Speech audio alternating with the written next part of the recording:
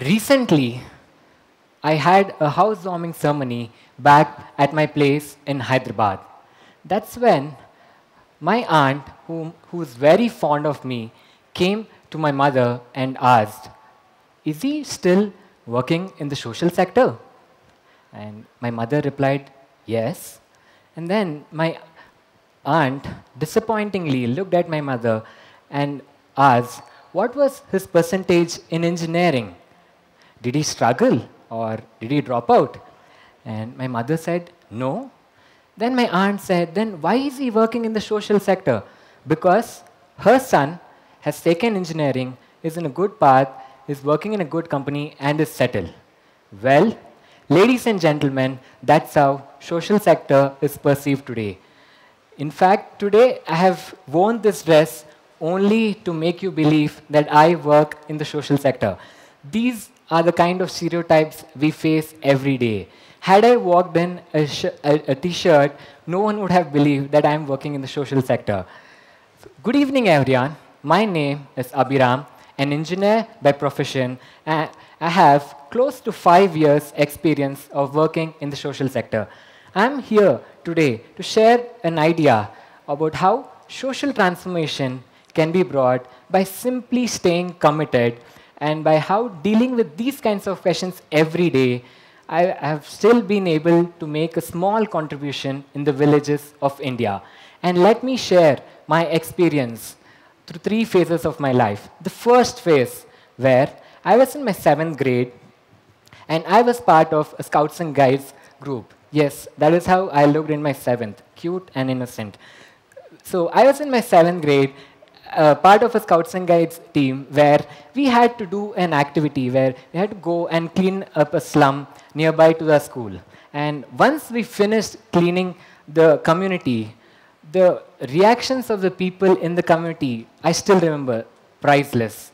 That was when it stuck in my mind. This is something I want to do more. It made me happy, but I didn't know how. And then, in my 10th class, we had a career counseling session in our school where each student was being guided on what is the next best career option to choose based on their interest.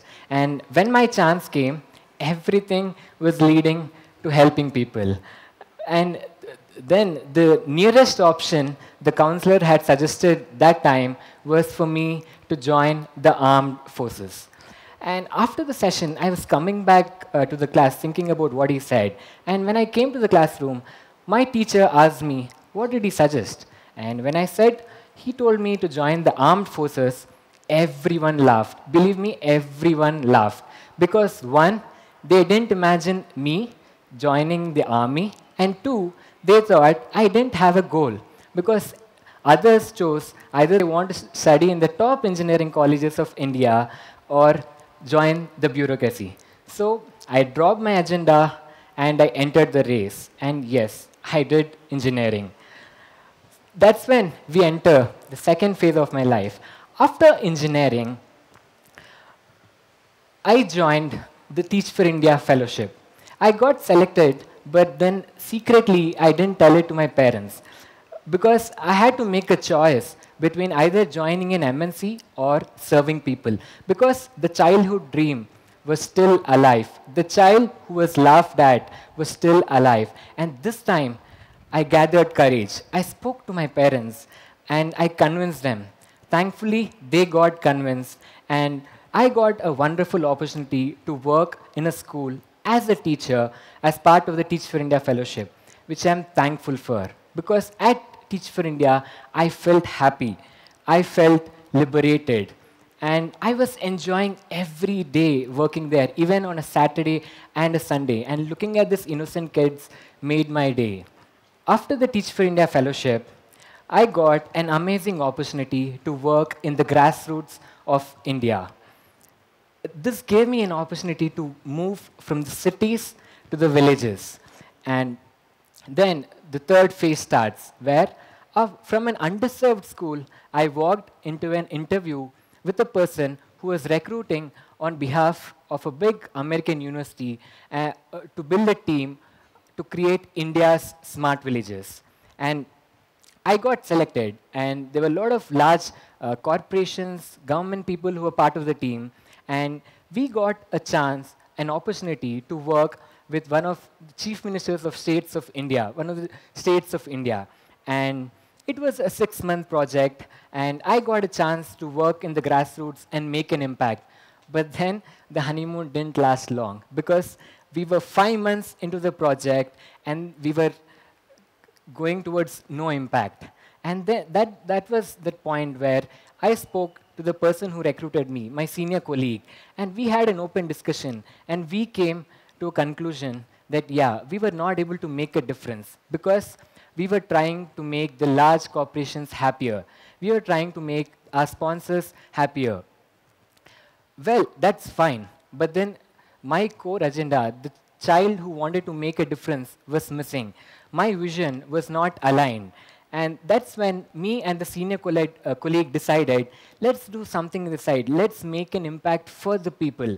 And that's when we started this skills accelerator in the side. And guess what? We were able to create seven entrepreneurs and 16 jobs in a span of one month. But then the day came when the chief minister of the state visited the village to see the impact that we had done. And we were waiting outside uh, with all the boys, girls, artisans, women, businessmen who were part of the project from the village, waiting to show our work. But then we didn't get the opportunity because we ran out of time. We didn't get the opportunity to go and meet him as all the large corporations who were part of the project took all the limelight. And we were last on the agenda because we were from a small company. And we were sitting like this, waiting, waiting, and we kept on waiting. And we never got a chance.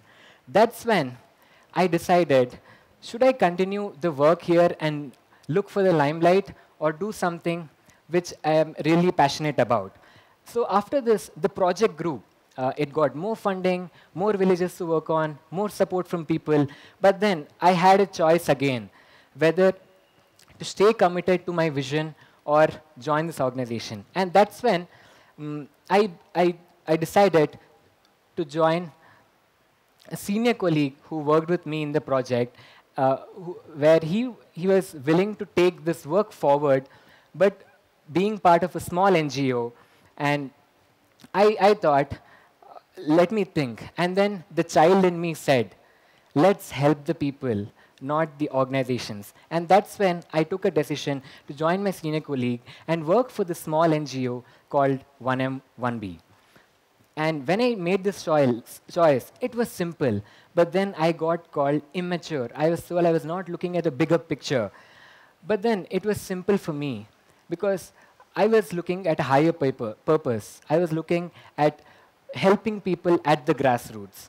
And when I gave up on this opportunity, people thought I gave up on visibility. I gave up on a, a handsome fellowship. Because I gave up on that to make an impact, the work did in 1M1B for the past two years gave me an opportunity to represent India at the United Nations and talk about whatever I did in the villages. I was able to create 20 entrepreneurs provide jobs for 50 people, enhance income of 160 people, which include artisans, women, young men, businessmen, and 600 students who are, are undergoing training in the villages uh, and will be placed in the next two months. And this is the same program which we had piloted during the Smart Village project. And now this Skills Accelerator as part of the small non-profit 1M1B is being done in 16 places across India and impacting more than 2,000 people. And if I can say, something that I'm more passionate about and something which is close to my heart is reviving artisans. Because these are the people who are getting lost in oblivion. These are the people who need help. And we are supporting them by giving, getting them better market opportunities and giving them good livelihood. And one thing led to another, now, now from education to livelihood. And I'm here working on helping these artisans on an exciting project, working on reviving the artisans of India. And I think if millions of youth like us can unite, we can transform the 640,000 villages in India. We can bring that change. If I may suggest something to all of you, I would suggest that please stay committed. Stay committed to your own agenda. Money will come and go. Limelights will come and go. But staying committed will give you everything one day. The road to transformation is a marathon, it's not a sprint. And doing consistent work will give you that opportunity and will give you a chance to make a change. And if youth like us can unite and bring a change in the society, then nothing like it. And I urge all youth here to, stand up and look at what you are passionate about. Look around, go to the grassroots of the country, go to the villages, try yourself out. Even if it is harder, even if it, even if it is harder, even if the road is tough, but don't give up on your commitment. Stay true to your agenda. The road might be tough, but the journey is fascinating and the destination even more.